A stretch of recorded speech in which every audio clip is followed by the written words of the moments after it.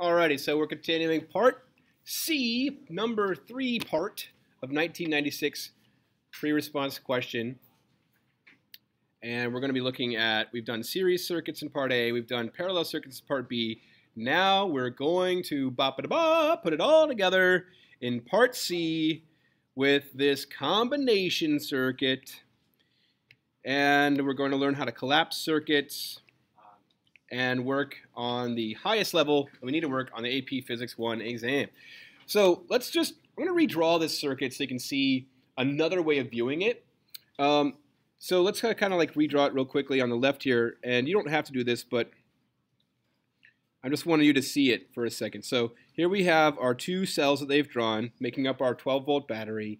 And then if you were to draw it like this, if you were to split it here, and then do your 100 ohm there, and then do two resistors in series there, and come back together, and go, there's your 10 ohm, and go back to your battery. So yeah, your 10 ohm there, and your 20, and your 30 there. That's exactly the same thing.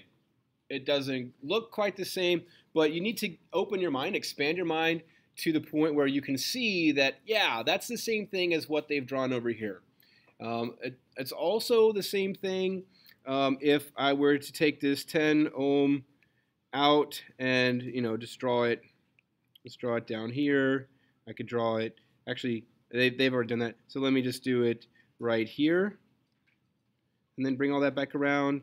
That's the exact same thing. You know, don't let those corners mess you up where they have those right angle corners. Um, look at the splits and look at what's going on before and after the splits or the junctions, as we as we say. And so let's play with this a little bit. First of all, what are they asking us to do?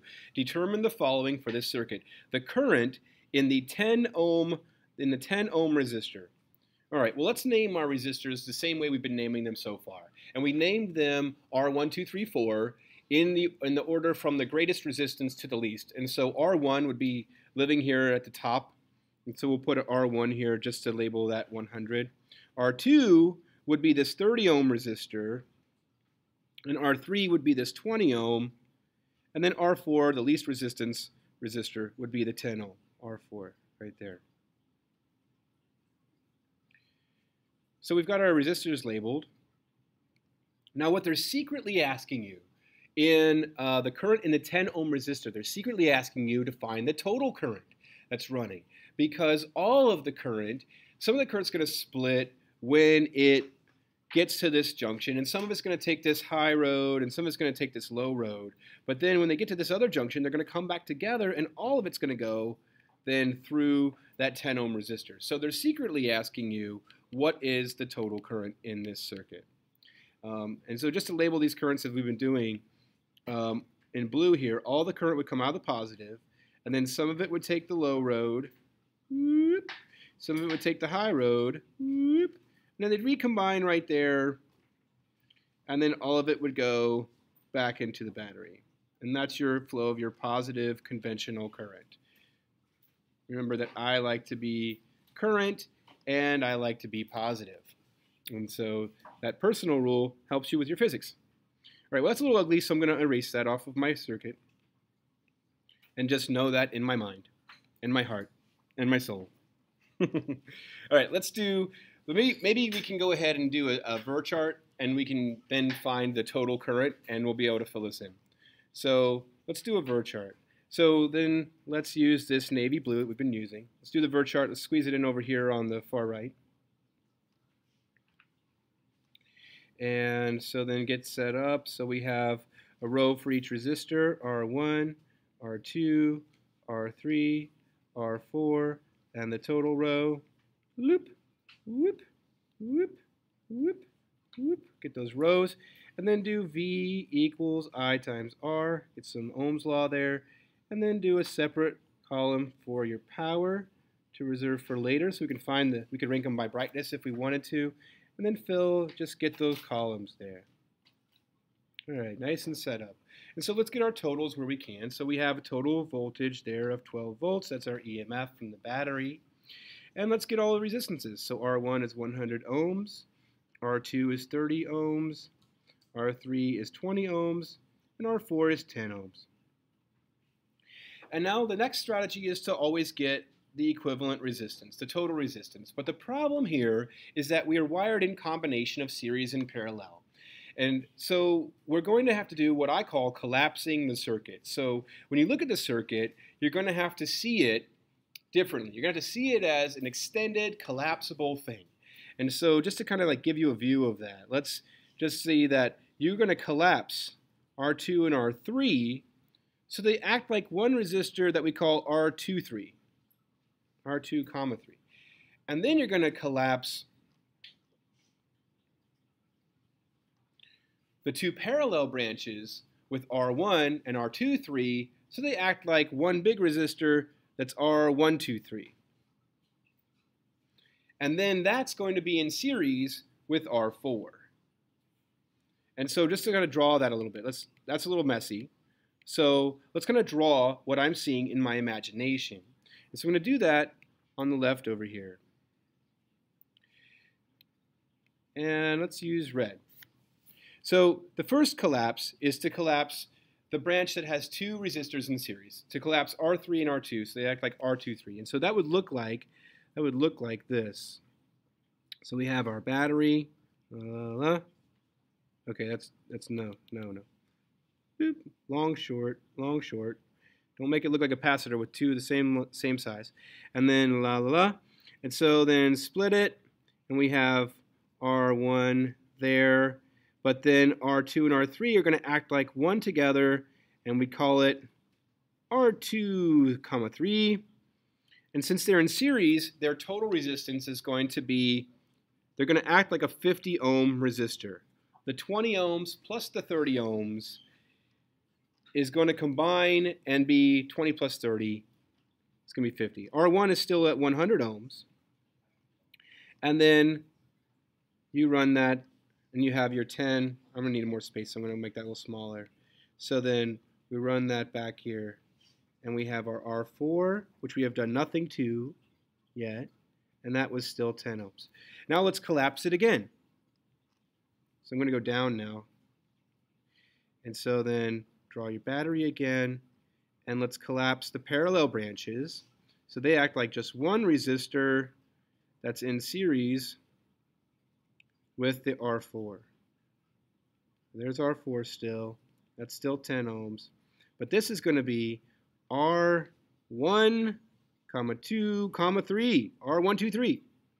And R123 we have to use our parallel rules. So we're going to have to add inversely. So we're going to have to do 1 over R1, which is 1 over 100 ohms, plus 1 over R23, which is 1 over 50 ohms, and then take the inverse of that. And so we have to get common denominators, which can use 100. So we have 1 100th plus 2 100ths, and that's going to give us 1 100th plus 2 100ths, again to the negative 1 power, that's going to be 3 100ths, and then take it to the negative 1 power. So then that's going to end up being 100 over 3, which is going to be 33 and a third, or 33.3 repeating, and we'll just leave it as 33.3 ohms. And then you can collapse it one more time. You can put the R123 together with the R4 to get your final total resistance. And so let's kind of draw that here. Real simple. Battery and it's acting like just one resistor on that battery, and that's R1, 2, 3, 4, or the equivalent resistance of the whole thing, REQ.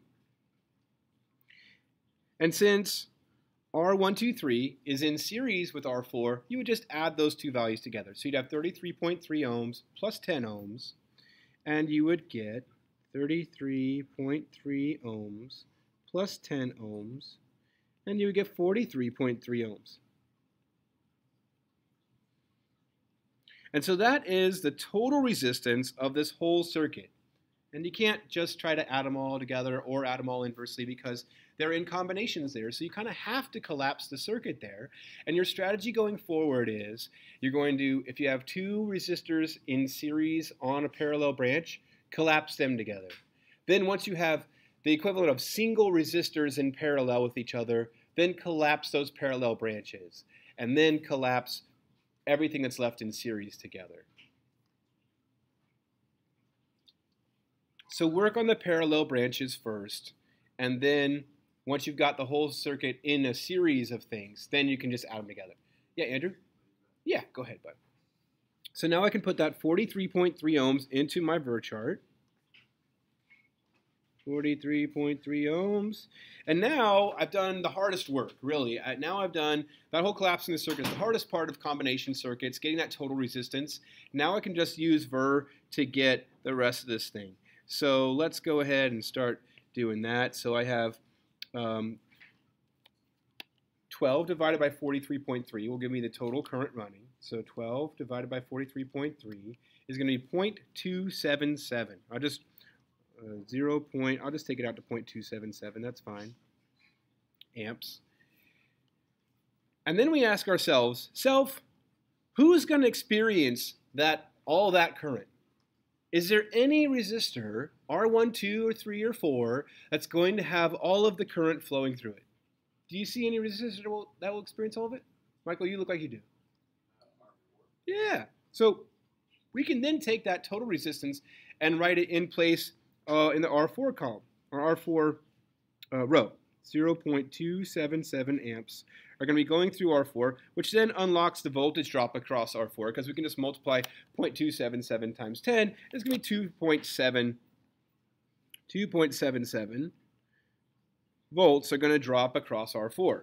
Now, before we go any further, I just want to point out that on the AP exam, you're being timed and you need to work as quickly as possible, and you would actually be done um, at this point because the question says, what's the current in the 10 ohm resistor? And the 10 ohm resistor is what we're calling R4. And so we just found that um, the current in the 10 ohm resistor we could call I4, and that was 0.277 amps. And so you just be done. If they say determine, you just want to find it and then move on. You don't even have to show work. Although we have a bunch of work for finding that total resistance above, and then we have a VIR chart that represents some work as well.